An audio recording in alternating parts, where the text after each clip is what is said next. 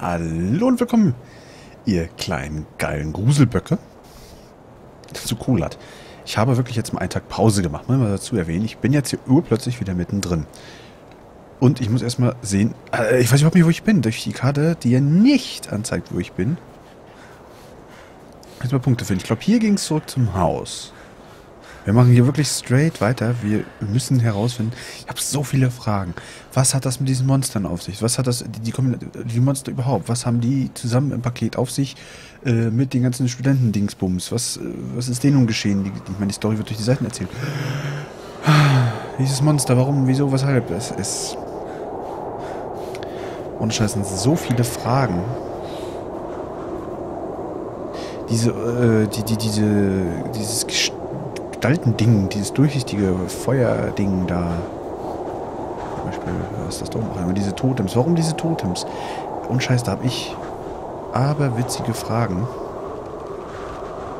Tausende. Warte, ich eine Seite. Da drüben.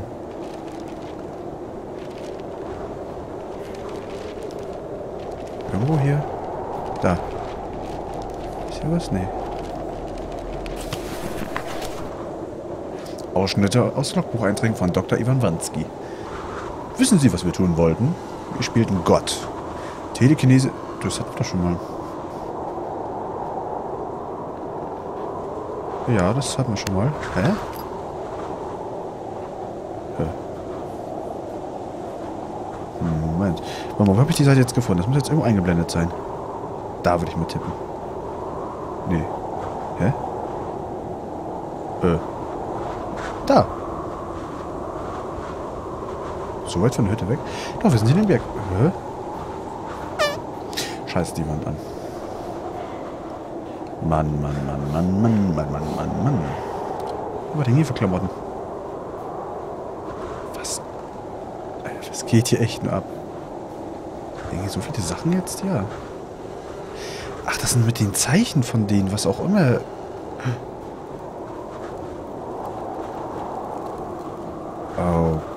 Okay.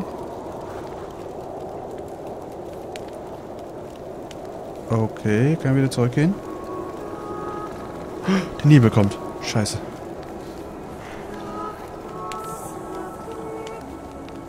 Krass. Wie geil das ist. Ohne Scheiß, das ist gerade...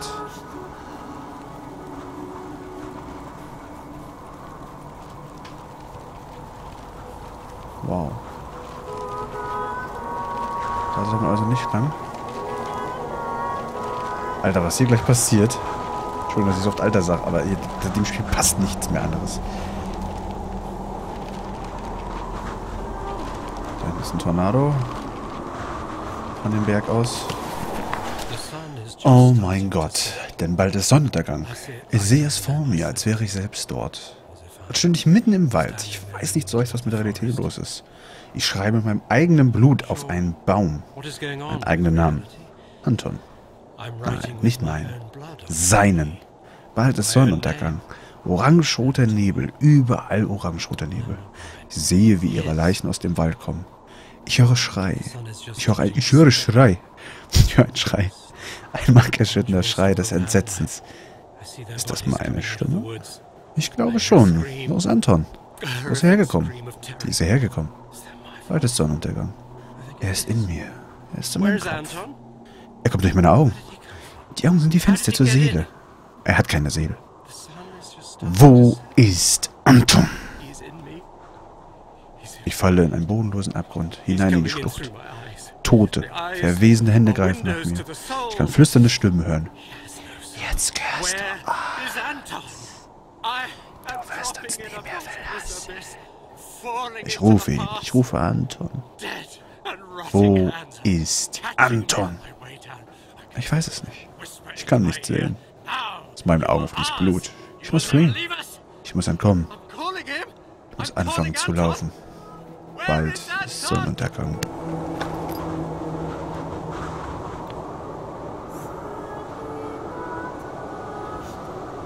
Und es hört alles auf? Wie im Himmelswillen? Wieso? Die Wolken werden auch langsamer. Bleiben die Wolken stehen und ziehen wieder normal. Was zur Hölle? Das ist also er. Das ist also, ich muss immer die, die Zusammenhänge, das muss man sich übel zusammenreiben. Ob das so ist, jemand, der so gefunden wurde, also der schon wirklich so ein bisschen psychiatrisch. Ist das wirklich so gewesen, ist jetzt die Frage. Ich möchte jetzt wirklich gerne Fakten haben, oder? Da bin ich. Siehst da. Jetzt bin ich hier dann. Und nochmal hier hinten rum, ganz im Weg. Drei Koordinaten fehlen noch. Da muss ich überall hin. Dahin muss ich... Ah, ist ja dadurch auch einfach, ne? 47? Warte mal. 14... Ist 62? Nee, warte mal.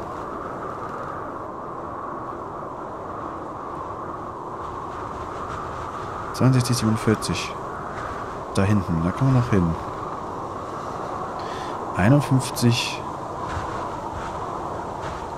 30. Die Null ist durchgestrichen. Achso, ja, hier auch, ja. Ja, ja, klar. Äh, kommen wir auch hin. 14. 1483. oben hin muss ich also nochmal. Okay. Gut, jetzt gehen wir erstmal weiter. Puh, puh, puh, puh. Ich bin gespannt, wann uns das Vieh... Wow. Äh... Wenn ich wüsste, ob er es durchs Laufen schafft. Schafft er, gut. Aber nur in diese Richtung. So. Jetzt sind wir darüber gekommen. Jetzt müssen wir da lang ich, ich, ich habe wirklich, nachdem ich das äh, gestern, äh, also für mich, wo ich das aufgenommen habe, das gespielt habe, so viele Fragen. Ich habe selbst mal nachgeguckt. Ich habe noch so viel gelesen. Äh, es gibt auch äh, ähm, bei YouTube auch eine Dokumentation, wenn man äh, der Jadlo-Pass, also D-J-A, Jadlo Pass, äh, ich guck mal. Also ich dachte, ich habe was gesehen. Jadlo Pass, also heißt das ja, oder Jadlo wurde nach dem Anführer der, Gru der Gruppenführer hier äh, benannt. Und, oh, ich habe ein bisschen Schiss. Einfach schnell. Ähm, und so weiter. Da findet man wirklich, wirklich viel. Informiert euch. Also das ist nicht nur simpel blödes Spiel, sondern aufgrund der wirklich wahren Begebenheiten ist das einfach... Hier geht's runter. Das wollen wir nicht. Da geht's nicht. Genau, da geht's da runter. Wollen wir nicht.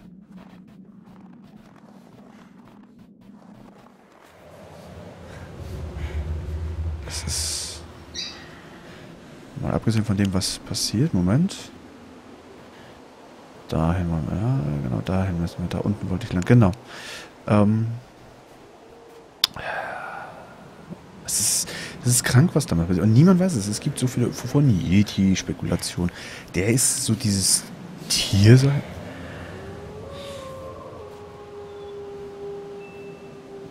Na klar, passt. Ich rede gerade, nö, ich habe bisher noch kein Tier gesehen, immer mal nur dieses Heulen, das war's. Kann auch ein Wolf sein. Und genau dann brüllt irgendwas.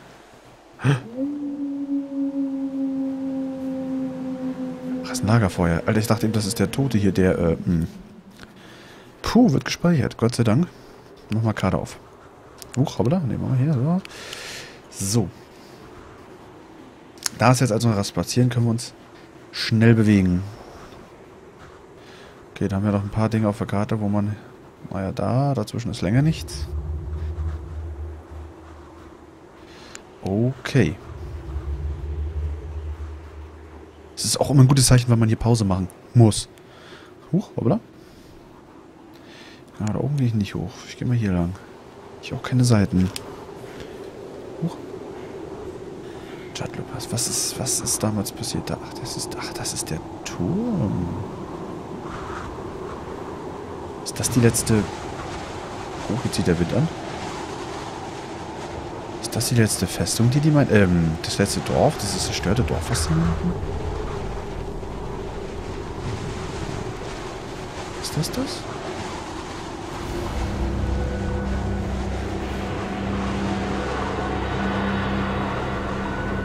Was ist denn schon wieder los für ein Sound, ey? Ich habe irgendwie das doofe Gefühl, dass die hier Monster eingebaut haben. Oder das? Muss ich doch von oben kommen? Nee, hier geht's nicht durch. Es ist bloß sehr dunkel, also für die äh, Aufnahmen. Hm? Achso, ich dachte, steht was an der Wand. Also nur der schöner Stahlbeton. Gut, deutscher Stahlbeton. Ich glaube, ich muss von hinten dann kommen, was? Oh, war da oben was? Ich habe hier Hallus. War was eingezeichnet? Nee. Ne, hier dann.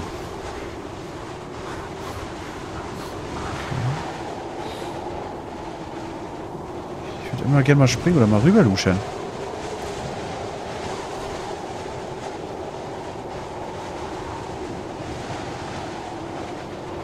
in solcher unwirtlichen Gegend, also solche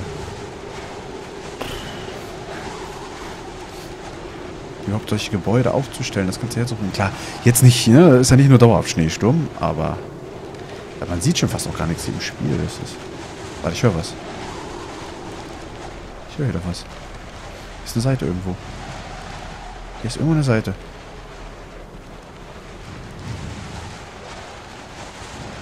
Dadurch, dass der Sturm so laut ist, höre ich die nicht mehr.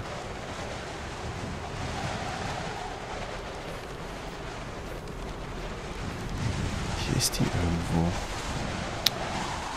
Dadurch, dass ich die springen kann, komme ich nicht hoch. Wo ist die? Von rechts kommt das. Dahinter. Da. Irgendwo hier, ja. Da muss es sein. Nur...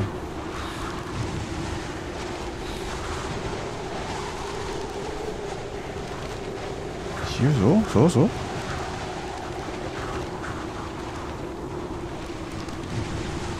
Ja. Ich kann auch überall wieder hochfliehen, ne? Ja, ich habe immer so ein bisschen Angst. Da, Koordinaten. 55, 40. Da sind wir. Okay. Haben wir wieder was dazugelernt. Hm, ich kann ja nicht springen. Kann ich mich ducken? Vielleicht kann ich mich hier verstecken, aber es bringt mir nichts.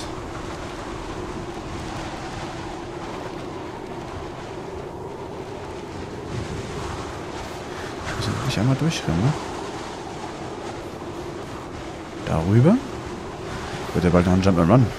Juhu! Wow. Natürlich ist da noch Licht an.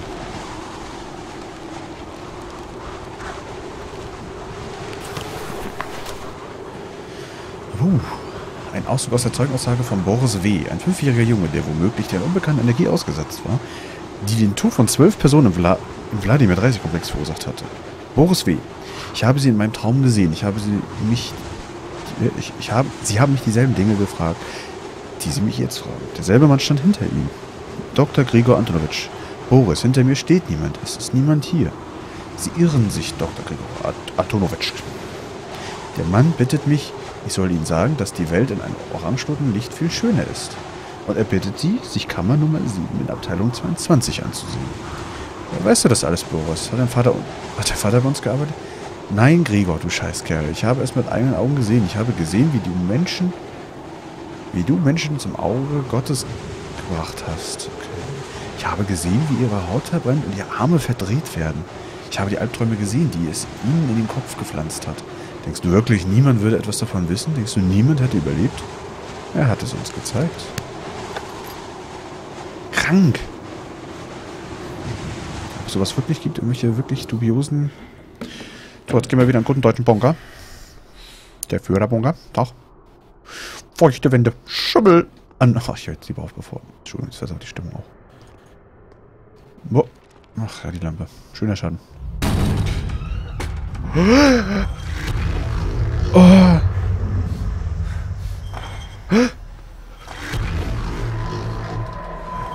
Was zur Hölle?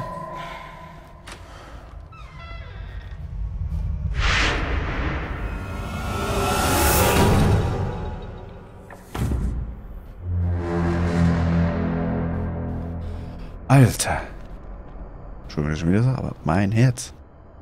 Was ist denn hier los? Was, was ist denn da schon wieder? Wir sind immer noch im Bunker drin. Das ist die Seite. Ohne einen Ausgang. Doch hier die Tür, aber... Funkgeräte? Hm. CTTP?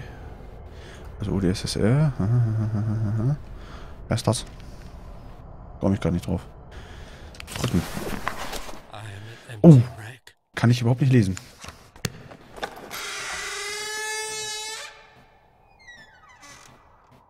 Hä? Da kommt jemand. Hier wächst grün.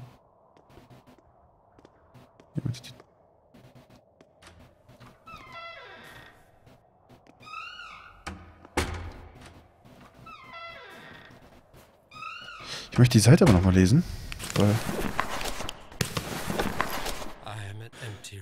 Genau, ich bin ein leeres Wrack nach seinem Ebenbild geschaffen und doch nicht gleich.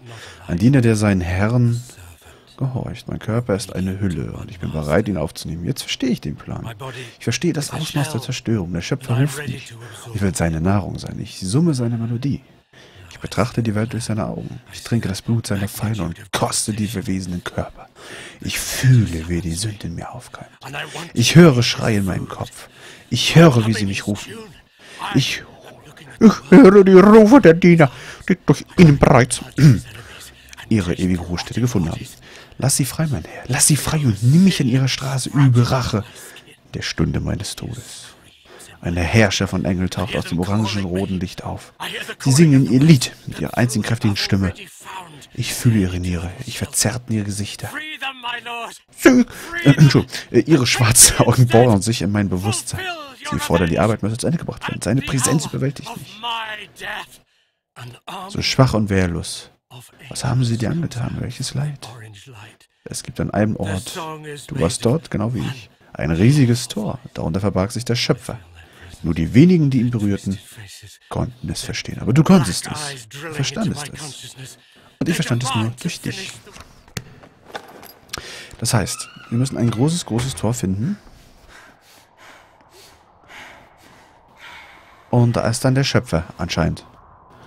Und der Schöpfer... Die Zeit hat keine Wunden. Das habe ich gelernt. Diese Wahrheit wurde mir mit Schmerzen, Grausamkeit und Lügen eingebläut.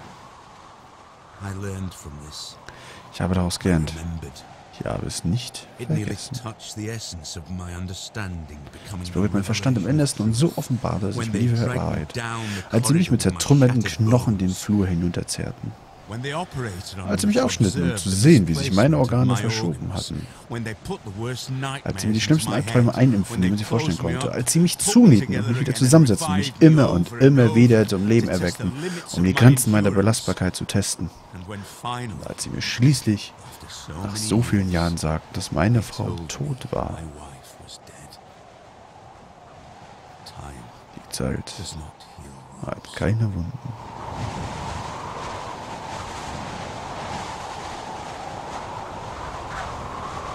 Wer sind wir? Um Himmels Willen. Wer sind wir?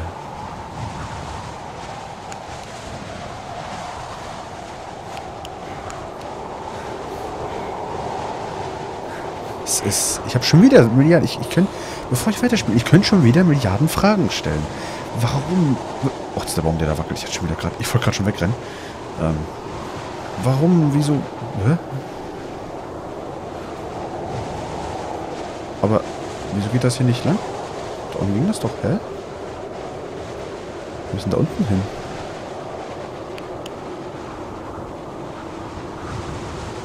Dahin. Das, das ist das da unten. Muss es noch irgendwo oben lang gehen? Ähm, so viele Fragen. Äh, wer, wer, wer bin ich? Oder was, was, was bin ich nun wirklich? Wurde ja hergeschickt, aber habe ich am Anfang nicht zugehört, da gesagt wurde, hey, ich bin Antoni das und zeige hier, dass es Sparta ist. Ich weiß es nicht. Und warum diese Gestalten? Was, was, was stellen die da, diesen Hass? Die haben also anscheinend ja wirklich menschliche Experimente. Dann wieder das ganze Atomgedöns. Äh, wie gesagt, die Experimente mal ganz, ganz, ganz, ganz, ganz vorgeschoben. Aber komischerweise haben solche Experimente, die oft gemacht werden, oder gesagt wird, wir haben Experimente gemacht oder Schauerspiele oder, oder irgendwelche Sachen da oben.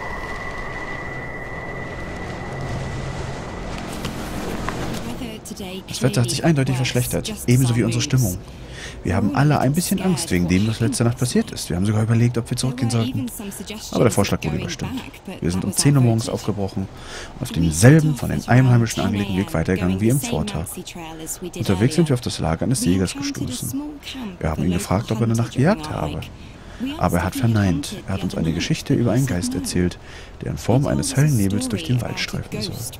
Natürlich fühlen wir uns dadurch nicht gerade wohler. Wir sind weitergegangen. Heute sind wir nur langsam und großer Mühe vorangekommen. Die Zeit, nee, die, Entschuldigung, die Sicht ist gleich null. Die Temperatur ist auf minus 24 Grad gefallen. Nee, ja genau, ich lasse es übersetzen auf Englisch, nicht wundern. Ähm, um etwa 16 Uhr haben wir begonnen, uns nach einem Platz für unser Lager umzusehen. Wir haben eine gute Stelle am Waldrand gefunden, wo es windstill war. Völlig erschöpft haben wir begonnen, unser Lager einzurichten. Wir waren zu müde, ein Loch für das Lager voll zu graben. Wir haben in den Zelten zu Abend gegessen. Wir hatten keine Kraft für Unterhaltung oder Gedanken. In der Nacht habe ich deutlich gehört, wie jemand um das Zelt herumging. Ich habe gehört, wie jemand meinen Namen flüsterte. Ich will nicht mit den anderen in der Gruppe darüber sprechen. Sie würden glauben, dass ich langsam verrückt werde. They'll think I'm going crazy.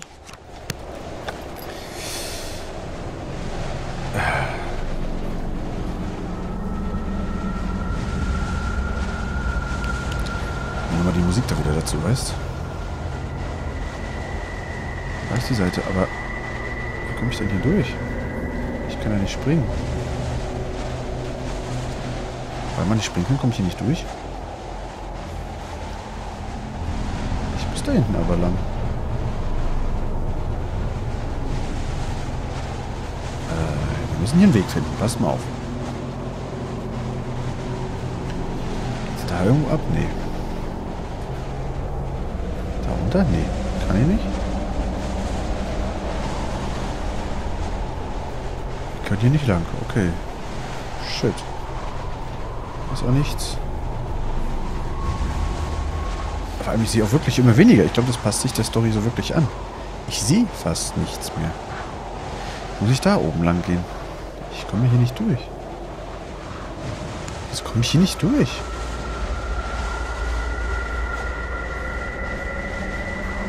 Sound schon wieder.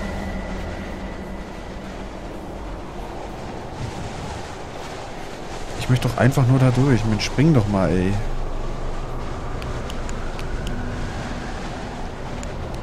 Kann er ja wieder nicht. Es ist auch so schwer, da durchzukommen, ja?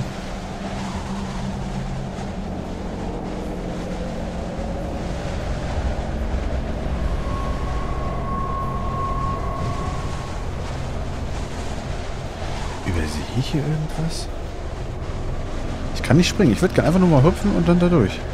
Kann ich aber nicht. Muss ich da hinten lang? Nee, oder? Hört sich noch weniger. Muss ich da lang und dann da lang erst? Nee, Quatsch, hier lang. Und darüber? Geht das? Probieren wir mal.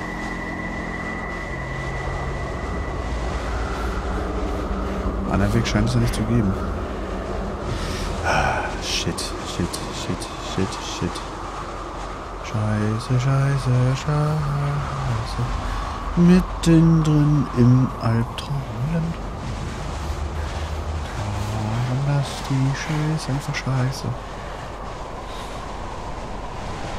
Um Gottes Willen. Jetzt also wieder nur runter, ja? Ja.